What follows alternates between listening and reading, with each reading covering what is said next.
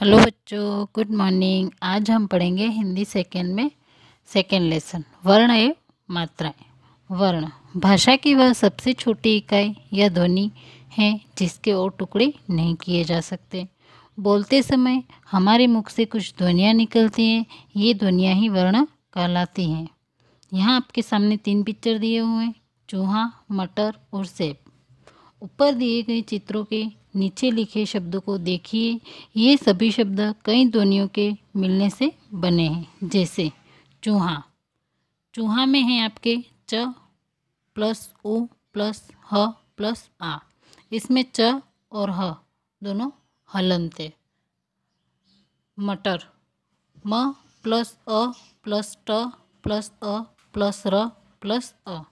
मटर। इसमें म, ट और र हलंत वर्ण सेब, स प्लस ए प्लस ब प्लस अ। सेब, इन ध्वनियों के और टुकड़े नहीं किए जा सकते, अतः इन्हें अक्षर भी कहते हैं। वर्णों को लिखने का एक निश्चित क्रम होता है।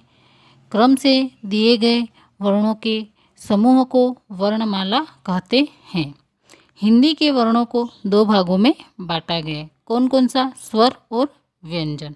सबसे पहले हम पढ़ेंगे स्वर।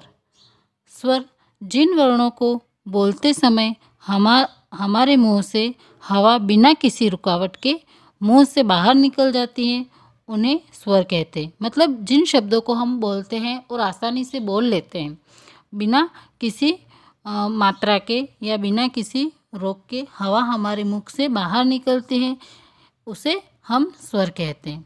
हिंदी भाषा में निम्नलिखित ग्यारह स्वर हैं। कौन कौन से अ, आ, ई ई, उ उ, री, ए, ऐ, ओ और औ? ये हिंदी भाषा के स्वर हैं।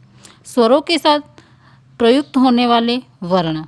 कुछ वर्ण ऐसे हैं जो न तो स्वर में आते हैं और न व्यंजन में। फिर भी वो हम उसको प्रयुक्त करते हैं। कहाँ पे?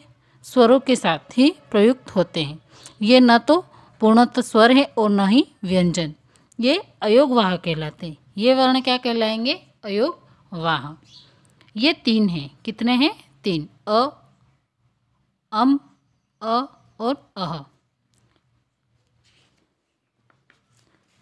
आगे हैं आपके अनुस्वार। क्या है? अनुस्वार। अम। इसे क्या कहते हैं? अनुस्वार। अम को कहते हैं अनुस्वार। और अम को लिखते कैसे हैं? तो आपके सामने लिखा हुआ। वर्ण के ऊपर इसको लिखते हैं। इसका उच्चारण नाक से होता है, जिसे बंदर, जंगल, मंच आदि। अनुस्वार का उच्चारण हम नाक के द्वारा करते हैं।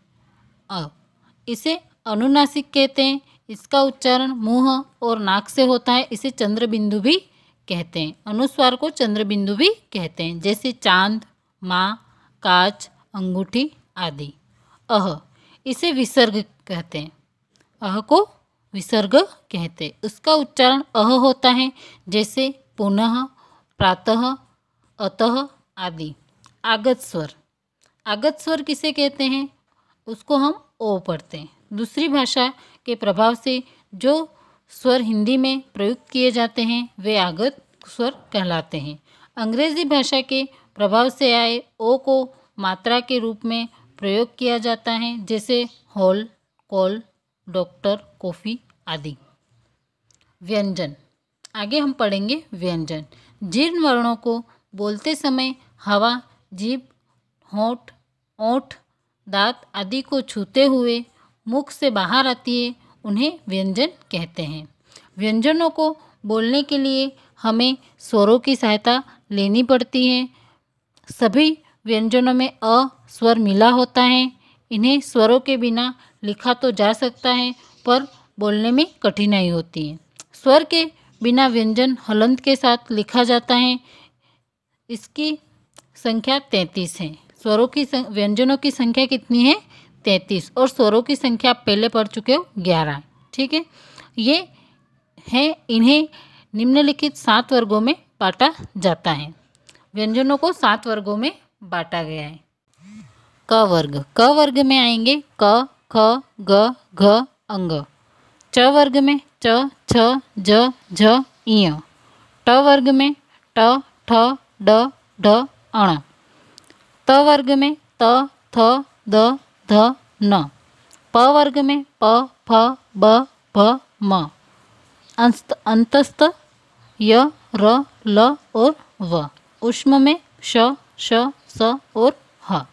संयुक्त व्यंजन। आगे हम पढ़ेंगे संयुक्त व्यंजन। संयुक्त व्यंजन मतलब दो अलग अलग वर्ण मिलते हैं और नया वर्ण बनता है। संयुक्त व्यंजन दो भिन्न व्यंजन एवं स्वरों के मेल से बनते हैं। जैसे क प्लस श प्लस अ। इसमें हलंत क है और हलंत श है और उसमें स्वर मिला है अ। तो क्या बनेगा? क्ष। क्या बनेगा? क्ष। त प्लस र प्लस अ। क्या बनेगा? त्र। ज प्लस य प्लस अ बराबर ज्ञ श प्लस र प्लस अ बराबर श्र। अब हमने अभी तक जो पढ़ा, उसमें से मैंने कुछ क्वेश्चन आंसर बनाए। तो सबसे पहले आपके वर्ण किसे कहते हैं?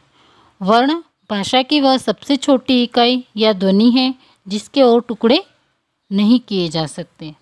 स्वर किसे कहते हैं? जिन वर्णों को बोलते समय हवा बिना रुकावट के मुँह से बाहर निकल जाती हैं, उन्हें स्वर कहते हैं। व्यंजन किसे कहते हैं? जिन वर्णों को बोलते समय हवा जीभ, ओंठ आदि को छूते हुए मुख से बाहर आती है, उन्हें व्यंजन कहते हैं। संयुक्त व्यंजन किसे कहते हैं? संयुक्त व्यंजन दो भिन्न व्यंजन एवं स्वर के मेल से बनते हैं। ये आपको